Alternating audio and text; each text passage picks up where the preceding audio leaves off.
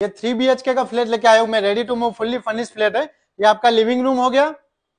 Living room में आपको एक बहुत ही प्यारी सी बड़ी साइज़ में बालकनी मिलने वाली है, जिसका व्यू बहुत ही बढ़िया रहने वाला है। ये कॉमन प्लॉट व्यू की बालकनी मिल जाएगी आपको। ये रेडी टू मूव प्रॉपर्टी है फुल्ली फर्निश प्रॉपर्टी रहने वाली है। यहाँ पे ये आपका डाइनिंग स्पेस हो गया।